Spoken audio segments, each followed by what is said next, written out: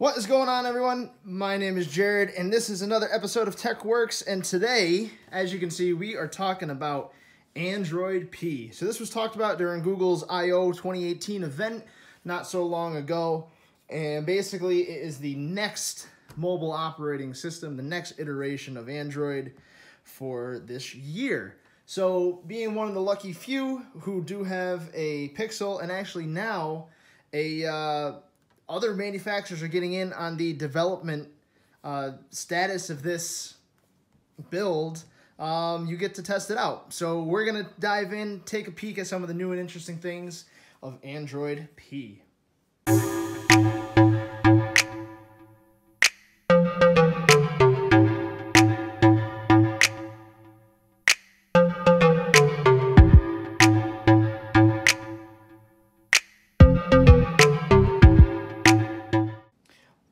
right, so a lot of things have changed in Android P, and a lot of them are little, but there's also some really big differences too. So right off the bat, we can see that we have a different layout for the status bar, right? So we now have the clock on the left and some icons on the right, and actually this new status bar menu only supports up to four icons at a time because it is incorporating the idea in of in case you have a notch.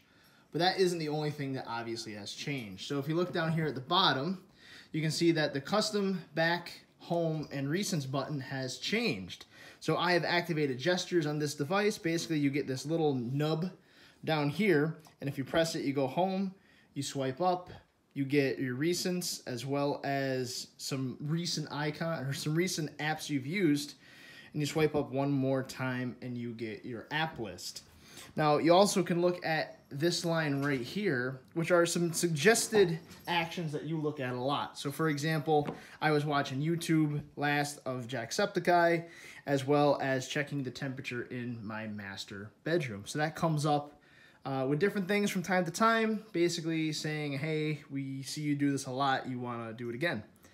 Uh, the actual app drawer hasn't really changed much besides that top menu of your most used apps as well as these little tidbits that you use. Now you can see at the bottom, a back button does show up from time to time and it does exactly what normally does, is put you back a page. So something else with the status bar is if you swipe to the left or right, I think it's actually just left. Let me double check that. Yeah. So if you swipe to the right, you get your recents, and then you can drag this the nub left and right to access different recent cards. So this is developer preview 2, meaning that a lot of this is subject to change, but I know gestures are certainly staying. Uh, they might get better, they might add some other different options, and you obviously can disable gestures if you don't like them. Cruising right along, you have your quick notifications or your quick toggles up at the top here. And not much has changed other than the fact of you now have circles instead of how the old tiles looked. Um, this people might like the circles, people might not like the circles. I mean, to me, it's kind of a moot point. I really don't care. I think this looks very nice, looks very polished, and it certainly appeals to Google's material design language, which they've been trying to push across. Also, if I had notifications up here, they have gotten a rounded corner, as you can see right here with the weather right there. It's got nice rounded corners, as well as the idea of quick reply has changed a little bit in the sense that when you drag it down and you hit reply, it's going to show the last few messages that you replied to versus just the latest thing that the conversation said and then what you said. So that is kind of nice. You can obviously choose whether or not how you want your notifications, which apps you want to show, things of that nature. Uh, you still have your Google search bar at the bottom, and you have a little different uh, pop-up menu when you long press on the home screen. So on here, you also have a few more options as far as what your icons look like. So say, uh, you know, stock Android doesn't have a lot in terms of themings uh, unless you root or use um, a theming engine, right? But anyway, you can change your icons, your at a glance, have your notification dot, as well as having new icons show up. when you install them. So if you go to your icon shape, so this definitely was an Android 8.0 and 8.1, but say I want the uh, kind of square, kind of circle icon motif, obviously you can change that in there and it will affect most of the icons. As you can see, most of them, not including the folders, have changed besides, say, the My Chevy app uh, and Spotify and things of the nature. So not everything is going to change when you change the look of your icons. Most of the time, a lot of your stock apps, most apps will with the new adaptive icons idea, but uh, not all of them. Obviously, you go back, home settings, icon shape. I'm just going to use system default because I like the circles. Um, let's dive into the settings a little bit. You can still get to the settings by pulling it down. You have a much more colorful looking settings menu now. So everything has its own little color. It's kind of condensed. The biggest things that's changed, other than just the grouping of settings, which is more or less the same, is actually battery. So Android P, I hope it's called Popsicle. That's what I'm hoping for, Android Popsicle. Or a lot of people are talking about Peppermint. But anyway, uh, they have this thing called adaptive battery now. And basically, what that is going to do is exactly what it says. To extend battery life, adaptive battery limits battery for infrequently used apps. Your phone will learn how to use apps over time. Notifications may be delayed. So what does that mean? Um, more or less what that's going to do is say you use obviously Facebook, your social medias, Instagram, Snapchat, whatever the most, it's going to keep those readily available and it's basically going to uh, put the other apps into a low usage mode. Maybe it'll reduce the amount of times it, it checks, it refreshes, maybe it puts it in kind of a pseudo hibernation sort of thing. But it's going to start to learn what apps you use the most what apps you don't. So maybe it doesn't put a lot of resources. It also gives you some good information uh, right off this screen without having to dive in. You get your screen usage since full charge. Your full charge lasts about a day, one hour and 15 minutes. I'm at 83%.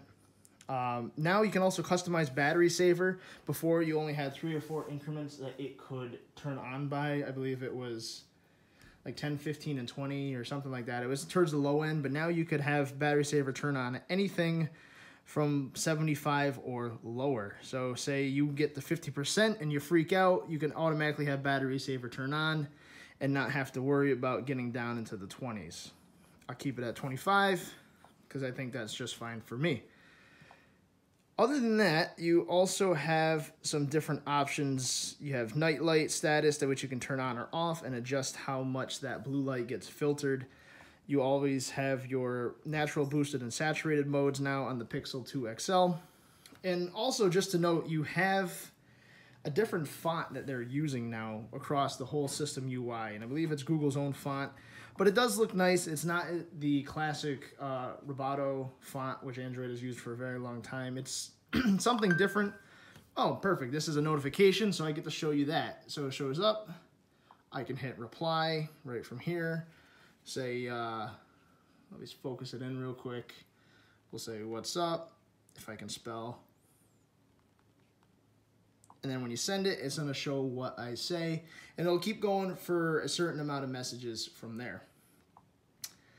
Uh, the next thing that I really noticed that I thought was different, I can confirm nor deny if it is or not, but when I get a phone call, I remember before having it come up in the status bar saying that you've had a phone call and just show up if I exit out of the main dialer screen, it'll just stay up at the top as like a notification. Now it shows up as like a chat head, similar to what Facebook Messenger does, and I'll just put it on the side. You can drag it around, click on it, hit end, and it doesn't really interfere with the top of your phone. Maybe that's to talk about uh, notches or things like that, but basically it makes it less obtrusive, at least to me. Other than that, there is a lot of under the hood improvements for Android P a lot of speed things, a lot of optimization for different processors. It's supposed to be um, a lot better. I mean, I've noticed actually not substantially better battery on the Pixel 2 XL here, but decent. Uh, certainly decent. I was comparing it to my S9 Plus. Sorry about that. Got a phone call in the meantime on both phones, so I had to take a break. So, As you can see, the notification on your lock screen, you can extend it by dragging it down. You see the conversation or let it go and is what you last see. I haven't noticed, um, like I was saying before, I've noticed slightly better battery. Maybe that has to do with the adaptive battery technology, uh, algorithm, whatever they're doing with that. And there was also a lot of other stuff going on at Google I.O. Uh, last week. So I'm sure this is going to change. And uh, I expect it to. I know they're saying they do want to have a clear all for your apps. Right now you have to swipe up like you do with uh, the iPhone. And that's fine. It doesn't bother me. You can still long press on this home nub uh, to get your Google Assistant. Squeeze still is here for Google Assistant as well. Things are nice and speedy. I know some people have said that after a while the Pixel 2 was uh, kind of slowing down with the squeeze functionality.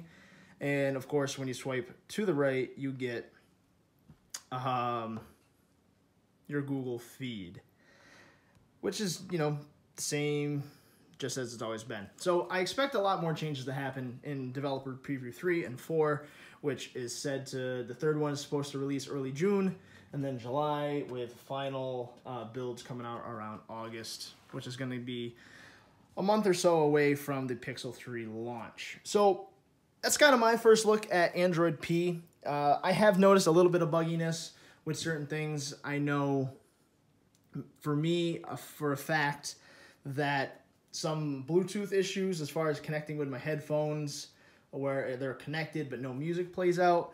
Um, a few different crashes happen with certain apps, and most of that's probably to do with the app not being updated. And one thing on crashed apps, if you open an app that doesn't work or uh, usually would become unresponsive, instead of having the OS basically hang at the unresponsive app screen and let it try to do its thing, Android P now crashes that app almost immediately, gives you the such and such app has crashed, and then kicks you back to your home screen. Uh, I don't know if that's good or bad. I mean, it obviously saves some time than waiting around for an unresponsive app, but I don't think necessarily that you know it's it's not a good or bad thing. It's just different. Um, anyway, I'm gonna report back to you as much as I can on different findings, especially as Android P develops and we get some new things. Um, you know, just like with any beta or any test or developer preview, things are always subject to change, always subject to get better. One thing I really like, and I'll end on this note, is the new animations. I think are really nice. They kind of they zoom in and up, and then they kind of slide out to the left when you do that, as well as um, really that, that happens with anything. But the whole animation scheme has changed, and it's really nice. It gives it a nice flow to it. I haven't had any problems with that so far. So anyway, my name is Jared Iyer from TechWorkz. Hope you enjoyed this little first look at the Android P Developer Preview 2.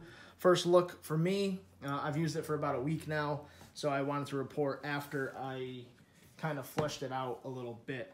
So with that, if you do have a Pixel 2 XL, you can head over to the Android P developer page to enroll your device. I believe it works on Pixel, Pixel 2, uh, OnePlus 6 that was just talked about today. Uh, I'm recording this the day before I released the video, so that was talked about. Uh, getting the developer preview, uh, some various other devices. Check out their um, check out their page for how to get it on certain devices. You can also check out Wear OS 3 if you have a Huawei Watch 2. Um, so it's nice that Google's opening up their beta program to more than just their flagships. I think that's a sign that they really want people to get on board with software updates early, especially with Project Treble and things of that nature. So anyway, thank you for watching. I hope you enjoyed it, and I will see you again in the next video. See you later.